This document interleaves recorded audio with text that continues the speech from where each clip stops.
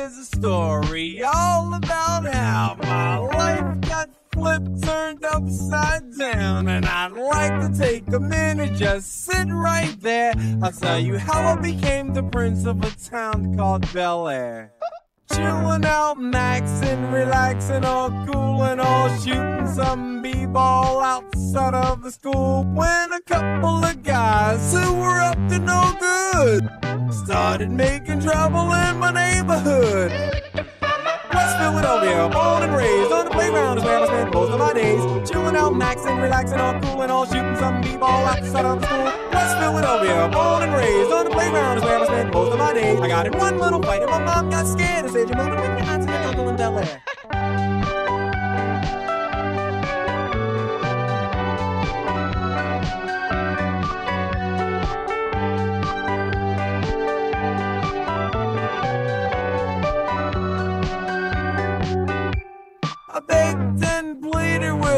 day after day, but she packed my suitcase and sent me on my way. She gave me a kiss and then she gave me my ticket. I put my Walkman on and said I might as well kick it. First class, yo, this is bad. Drinking orange juice out of a champagne glass. Is this what the people of Bel Air living like? Hmm, this might be alright.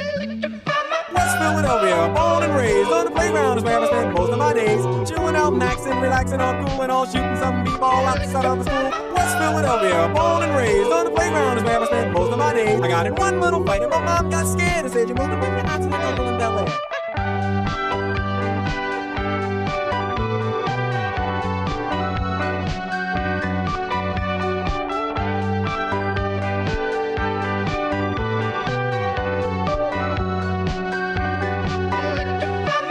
Philadelphia, born and raised on the playground is where I spend most of my days. Chilling out, maxing, relaxing, all cool and all shooting some b-ball outside of the school. West Philadelphia, born and raised on the playground is where I spend most of my days. I got in one little fight and my mom got scared and said, "You're moving with your auntie and uncle in Bel Air."